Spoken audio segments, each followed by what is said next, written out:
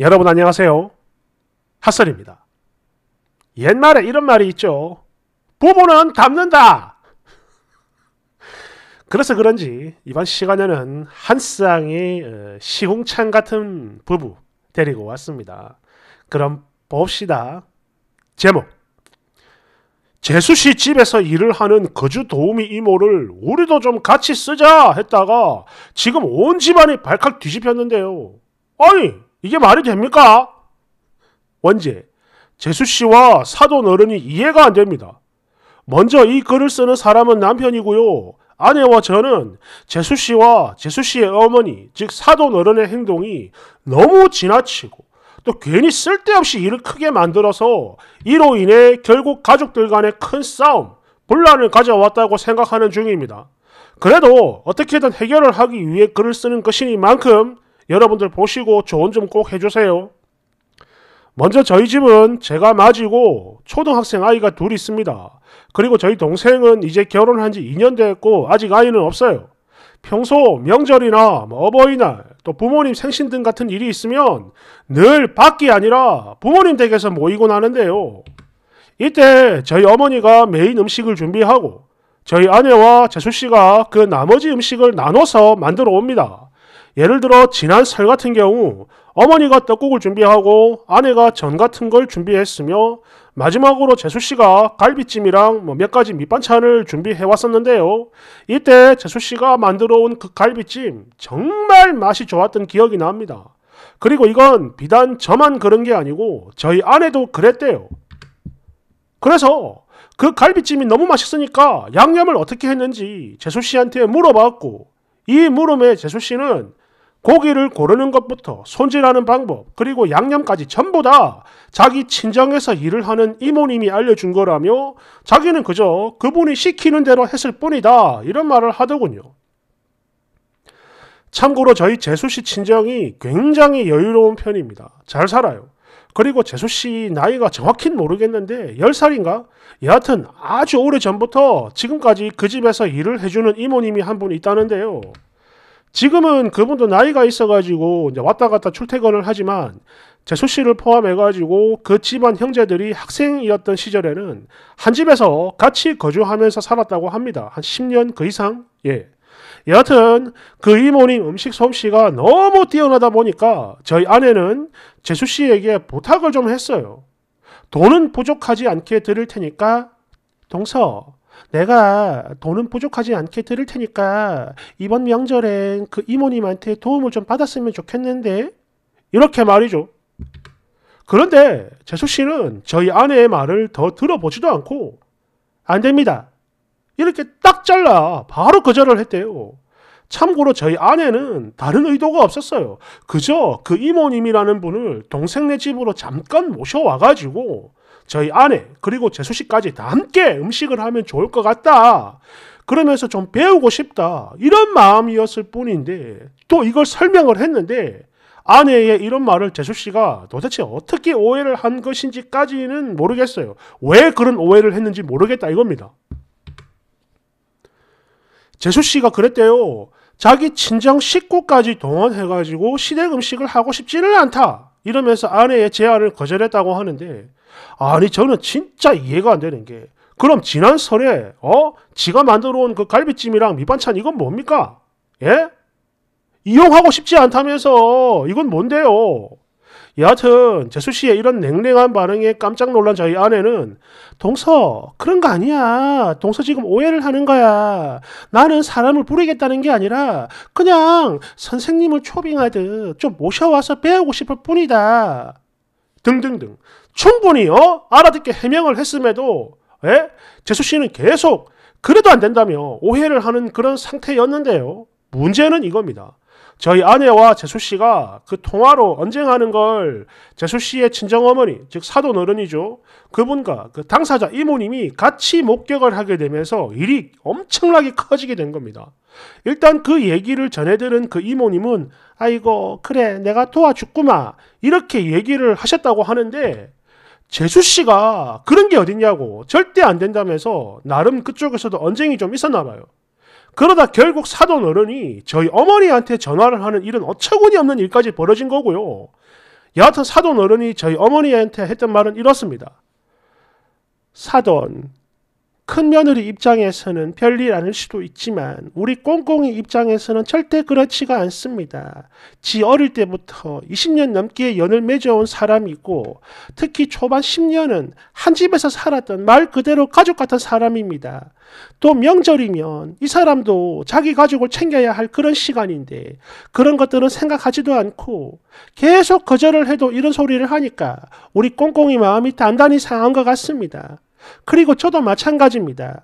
지금 이 사람 무시하는 느낌이라 기분이 좋지가 않아요. 큰 며느리를 잘 좀 가르치셔야 될 것 같습니다. 뭐 대충 이런 소리를 했다며 저희 어머니가 열이 확 받아가지고 저한테 연락을 하신 거예요. 아들아, 시모인 내가 하면 큰애 마음이 상할 수 있으니까 남편이 네가 대신 한 소리를 해라. 그게 뭐냐? 딱 이러시는데 아니 저는 진 진짜 이 사람들 마음 이해가 안 돼요. 일단 저희 아내는 절대 그런 나쁜 의도가 아니었고 그냥 음식 선생님을 모셔다가 양념 도움도 받고 또 기술도 배우고 이런 마음인데다가 어디 뭐 공짜로 부려먹겠다 했습니까? 예? 돈도 따로 챙겨 드리겠다 이렇게 분명히 이야기를 했는데 이거를 너무 예민하게 반응하는 재수 씨도 그렇고요. 무엇보다 제일 이해가 안 되는 거 사돈 어른입니다.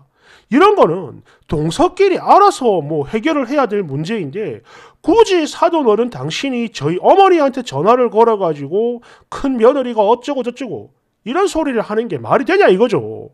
아닌 말로 솔직히 선은 그쪽에서 먼저 넘은 거 아닙니까? 예? 막말로 제가 지금 드는 생각이 뭐냐 하면요. 저희 아내를 재수 씨 친정 이모님을 부려먹으며 시댁 음식을 장만하려고 하는 그런 파렴치 안으로 몰아가는 뭔가 음모를 꾸미는 그런 기분이 자꾸 듭니다. 이건 뭐아니에요 여하튼 제가 그랬어요 어머니한테 엄마 나는 그런 말 못해요. 예? 이 사람이 뭘 잘못했다고 어머니까지 이럽니까? 이렇게 좀 맞섰고 여기서 더 화가 난 저희 어머니는 그래서 너 지금 이게 잘했다는 거냐? 이러더니 결국에 당신이 직접 저희 마누라한테 전화를 거셨어요.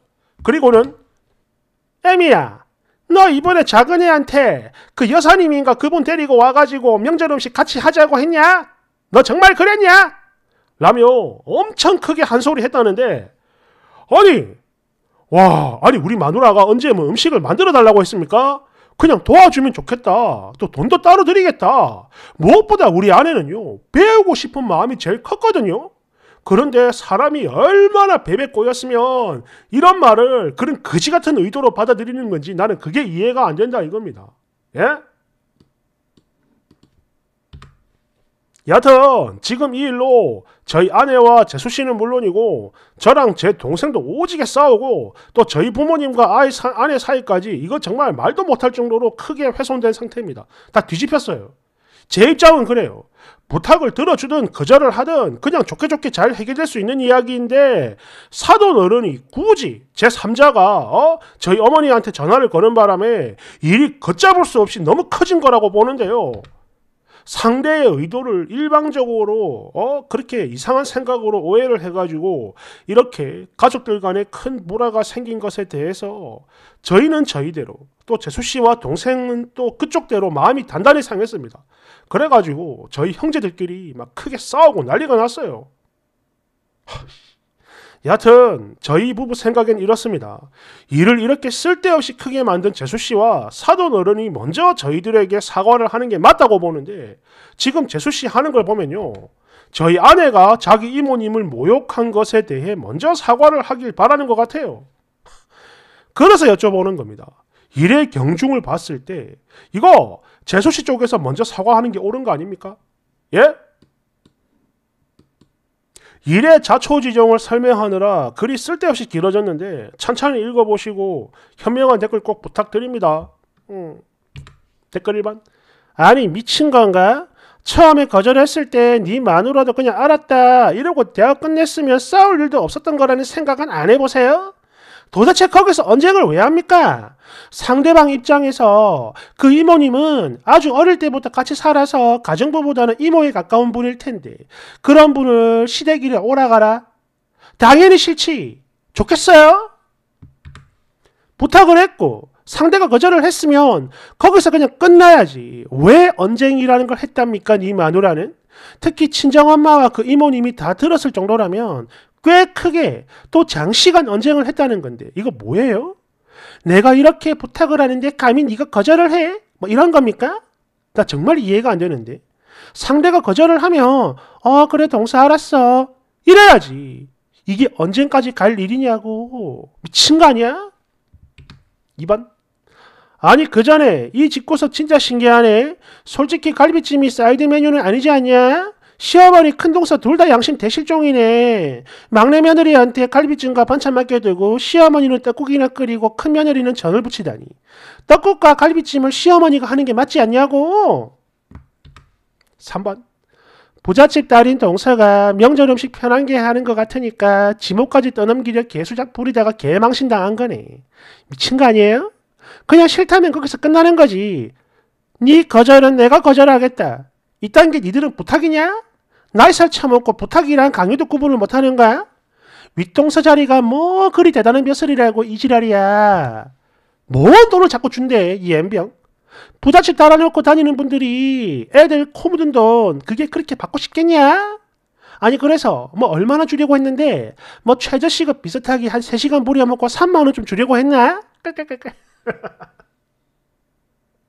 4번 정말로 그 레시피가 궁금했으면 좀 물어봐 줄 수 있냐? 아니면 동서가 좀 알려줄 수 있냐? 이렇게 물어봤겠지. 직접 와서 알려달라 이런 소리를 할 게 아니라 이거지. 쓰니 바보야? 아니면 정말 포장하고 포장한 게 겨우 있던 건가?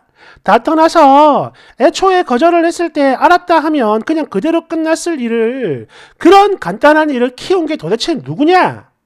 그냥 부창부수네 부창부수야. 아우 씨, 둘다개 시궁창 같아. 5번 이유가 뭐든 간에 사람이 싫다고 거절을 하는데 그걸 못 알아차먹는 일단 진상부류들 진짜 개극혐이야. 돌로 확 때려 죽여버리고 싶어. 싫다잖아. 싫다잖아. 싫다잖아. 이 미친 것들아. 6번 동서는 거절, 끝까지 정확한 입장을 밝혔고 그런데 당신 마누라는 왜? 왜 안 돼? 왜? 왜? 왜? 왜? 왜? 왜? 왜? 감히 사람을 어디로 오라가라 하는 거야. 진짜 건방지네. 계속 이렇게 외치고 사람 괴롭히면 강요가 안 끝나니까 결국 어쩔 수 없이 어른이 사돈 어른이 나선 거지. 그냥 그 이모님에게 레시피를 건네받으면 될 일을 그저 돈만 주면 다 되는 줄 알고 사실 이게 제일 기분 더러워. 그러면서 가족 같은 사람을 무시하고 급을 낮춰버린 거야. 나 같아도 무조건 거절이지. 7번. 아니 거기서 알았다 하고 끝내면 되는 건데 도대체 언쟁을 왜 했대요? 이러니까 진상들은 지들이 진상인 줄 절대로 모른다는 말이 나오는 거야. 큰 며느리 잘 가르쳐라 라는 말도 그래. 틀린 말 아니잖아. 먼저 긁어서 먼지나게 만든 사람이 사과하는 게 맞지? 8번. 이거 느낌이 왠지 남편이 아니고 당사자인 큰 며느리가 글 쓴 것 같은데 쓸때 일부러 남자 말투 흉내내는 느낌이 들어. 어때? 9번. 배우기 뭘 배워? 그냥 그 핑계로 사람 싸게 부려 먹으려는 심보지.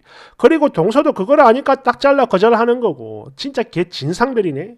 제발 적당히 좀 해라 적당히. 10번. 아니 그걸 진짜 배울 거면 지난 설에 배워야지. 왜 이제 와서 이 지랄? 너무 속 보이는 거 아니야? 그리고 뭐? 음모? 웃기고 자빠졌네 진짜. 야 음모는 니들 가랑이에 붙어있는 그 털이 음모야.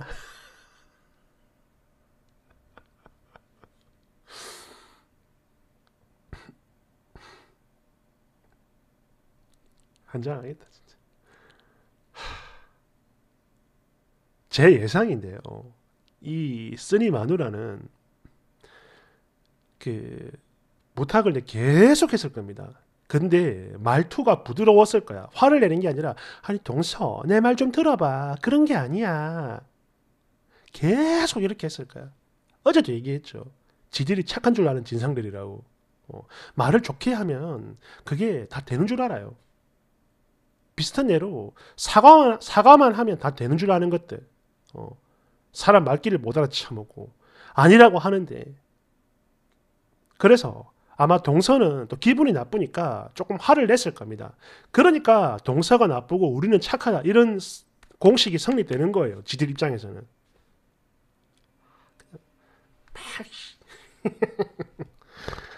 그렇습니다. 감사합니다. 음.